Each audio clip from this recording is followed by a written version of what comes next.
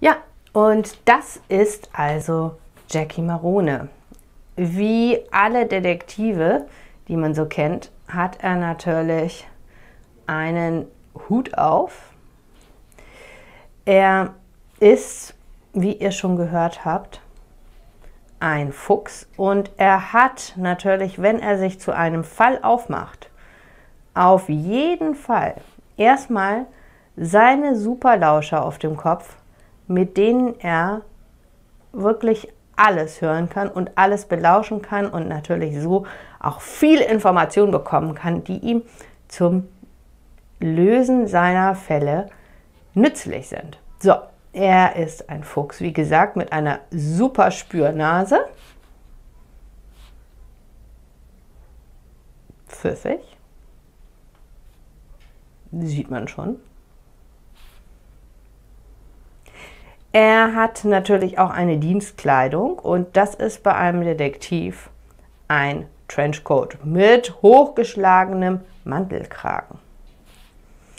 Wenn er losgeht zum Ermitteln, hat er natürlich immer sein detektivisches Zubehör dabei, nämlich seinen tollen Detektivkoffer, den er bei Alice gekauft hat, mit dem ganzen tollen Zubehör, was da dran ist. Er hat seinen Mantel geschnürt mit einem Gürtel. Das wird im Teil 2 nochmal richtig wichtig, denn das ist ein Teleskopgürtel, mit dem man sich ziemlich lang irgendwo herunterlassen kann. Der kann auf 25 Meter Länge ausgefahren werden und ist auch bei der Verbrechensbekämpfung natürlich ein nützliches Mittel. Jackie Marone trägt meistens Turnschuhe, denn er muss natürlich sportlich unterwegs sein. So, er hat auch eine zweite Hand sogar. Und in der hat er natürlich nicht selten das wichtigste Utensil, was er auch in seinem Koffer oder auch sehr oft einfach direkt in der Manteltasche hat, nämlich das Sprühseil. In einem anderen Film führe ich euch das vor. So, äh, damit ist er also unterwegs. Er ermittelt in der wunderbaren Stadt Bremen, nicht zu verwechseln mit der Stadt Bremen, in der Stadt Bremen. Dort hat er auch sein kleines Büro. Das ist sehr, sehr unauffällig sehr klein. Es hat zwar eine Klingel, aber kein Türschild. Es ist direkt nebenan von der Bäckerei. Kann man sich ab und zu mal noch mal eine Brezel kaufen. Ist die Brezelverkäuferin,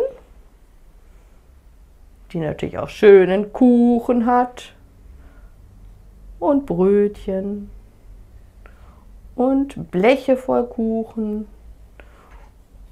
Es gibt dort auch noch einen Zeitungskiosk, einen Optiker und alles Mögliche. Das will ich euch jetzt gar nicht sagen. Aber es gibt in der Stadt Bremen auch noch, das ist etwas weiter entfernt von Jackie, da muss er, fährt er gewöhnlicherweise mit dem Fahrrad oder mit dem Bus hin. In der Stadt Bremen gibt es auch die wunderbare den wunderbaren Laden von Alice. So. Nach außen hin sieht das Ganze aus wie eine Buchhandlung. Hier sind Bücher zu sehen, so ausgestellt, wie man das so kennt. Wunderbar, hier ist der Eingang, noch ein zweites Schaufenster, noch mehr Bücher und noch mehr Bücher. So, aber im Hinterzimmer dieser Buchhandlung befindet sich das Fachgeschäft für Agentenzubehör. Und Alice, die will ich euch natürlich auch nicht vorenthalten,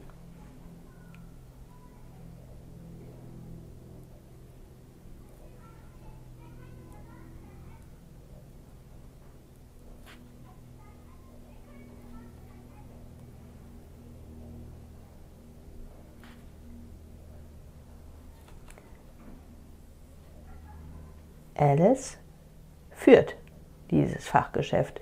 So harmlos wie diese kleine Hasenlady aussieht, ist sie gar nicht, denn Alice kann ziemlich gut Kung Fu und kennt sich natürlich mit allem aus,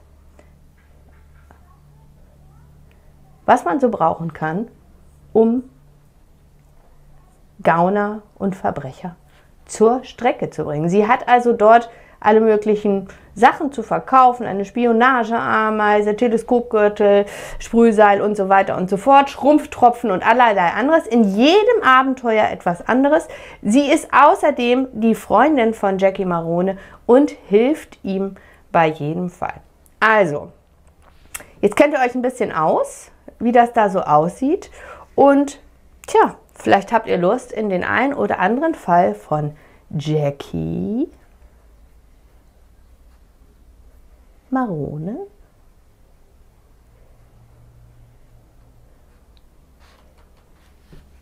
Mal hereinzugucken. Würde mich freuen.